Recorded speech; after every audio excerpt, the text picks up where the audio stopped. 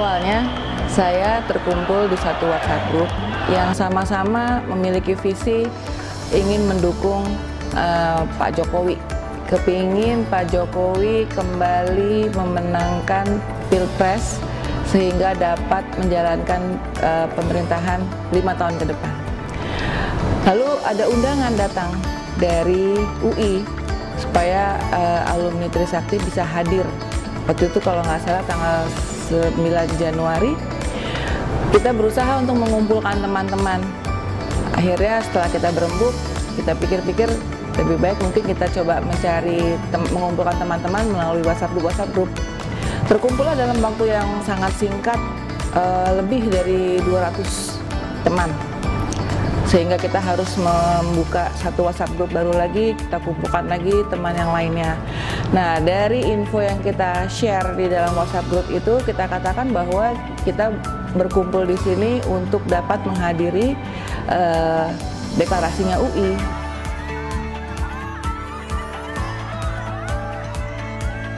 kita juga bisa melakukan deklarasi yang sama. Kita datang dari universitas yang besar, alumni kita banyak, kemudian uh, yang sama-sama memiliki visi seperti kita juga pasti banyak. Setelah kita berembuk lagi, kita putuskan, oke, okay, kita akan membuat deklarasi juga kepada Pak Jokowi. Proses ngumpulin teman-teman rasanya susah, tetapi ternyata keadaan itu terbalik dengan mudahnya kita bisa uh, mengajak teman-teman yang akhirnya sampai ribuan. Dari pagi hari, sholat subuh dan lain sebagainya, datang balik ke GBK. Alhamdulillah baru ngerasa plong karena di situ udah banyak pas pampres, mobil tentara, truk dan lain sebagainya. Wah ini pasti Pak Jokowi datang. Kami juga pada saat itu udah khawatir bahwa Pak Jokowi itu ke tempat kami dulu atau ke tempat lain. Dan ternyata Pak Jokowi langsung ke tempat kami deklarasi. Alhamdulillah kita semua senang, saya juga senang.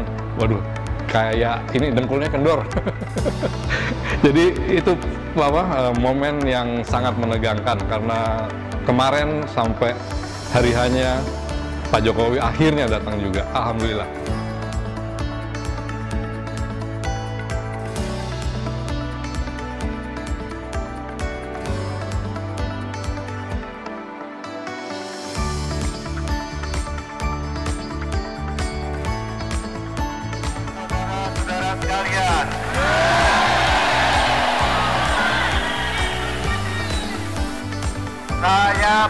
Bukan diktator.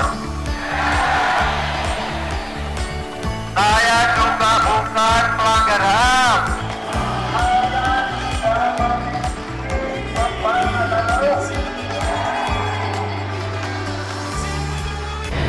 Sambil kita menyiapkan deklarasi, kita berdiskusi dengan banyak teman.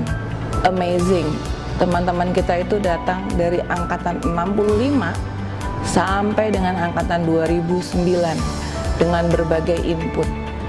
Dari situ kita mulai menyiapkan apa yang akan kita lakukan apabila kita sudah selesai mendeklarasikan uh, dukungan kita kepada Pak Jokowi.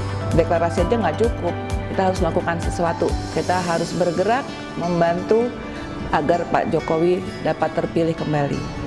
Dari hasil ngobrol-ngobrol dengan teman-teman, kita dapatkan bahwa untuk dapat memenangkan suatu daerah itu kita perlu minimal lima kali. Melihat dengan kemampuan yang ada maka kita putuskan. Paling tidak kita akan masuk dengan tiga kali kesempatan di satu tempat yang sama. Nah kita siapkan program sesuai dengan kemampuan kita dengan resources yang ada dari alumni-alumni itu. Tiga program utama yang kita canangkan pada waktu itu dan akhirnya kita jalankan itu adalah bakti sosial kesehatan masyarakat kemudian bersih-bersih rumah ibadah, dan yang ketiga layar tancap. Ketiga program inilah yang menjadikan tulang punggung kita bergerak selama masa kampanye Pilpres yang lalu. Harapannya tentu saja akan membawa masyarakat setempat untuk ikut bersama kita alumni Trisakti untuk memilih dan memenangkan Pak Jokowi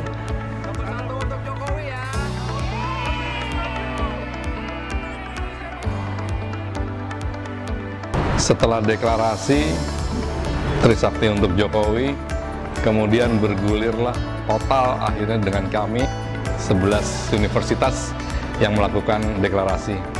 Dan kami Trisakti untuk Jokowi hadir satu, satu persatu sampai terakhir ke Jogja, di mana waktu itu ada di satu stadion yang mungkin cukup unik karena Jogja istimewa dan kami senang datang ke sana di situ juga Pak Jokowi senang banget melihatnya dan alhamdulillah semua lancar kita kembali ke Jakarta. Kita melakukan aktivitas-aktivitas yang memang uh, eh, TUJ sudah lakukan untuk bisa membantu Pak Jokowi memenangkan khusus di ibu kota Jakarta. Akhirnya apa yang kita harapkan tercapai. Pak Jokowi menang Keputusan MK memenangkan Pak Jokowi sebagai presiden terpilih untuk 2019 sampai 2024. Demi Allah, saya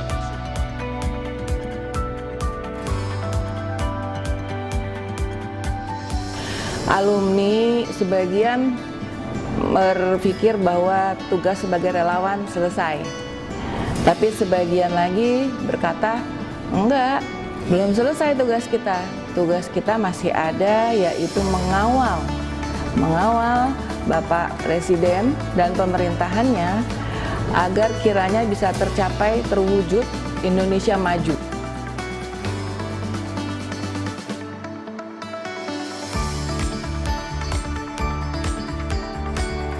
Pada prinsipnya, teman-teman sepakat bahwa kita akan bergerak menggunakan prinsip Trisaktinya Bung Karno, yaitu berdaulat di bidang politik, kemudian mandiri di ekonomi, serta berbudaya. Di dalam perjalanannya nggak semuanya smooth. Ada sebagian dari teman kami yang tidak setuju dengan rencana ini dan memisahkan diri. Trisakti untuk Jokowi membubarkan diri. Waktu itu kita ngadain semetan di Taman Menteng dan kemudian kami uh, bertransformasi menjadi Trisakti untuk Indonesia. Kami yang masih bersatu, masih memiliki visi yang sama, hati yang sama, perasaan yang sama, akhirnya berkumpul kembali dan dibentuklah satu perkumpulan yang telah disahkan di depan notaris pada tanggal 13 September yang lalu. Perkumpulan ini dinamakan Trisakti untuk Indonesia apresiasi tinggi buat teman-teman semua yang udah tetap uh, membantu terjadinya Trisakti untuk Indonesia. Terima kasih semuanya dan kita berjalan bersama untuk Indonesia yang lebih maju. Jadi eh, teman-teman uh, di luar Trisakti karena kita udah uh, sifatnya untuk semua, ya kami mengharapkan kita bisa bergandengan tangan dan berjalan bersama-sama untuk Indonesia yang semakin hebat dan maju. Satu pesan kami, jangan pernah lelah untuk mencintai Indonesia yang hebat ini.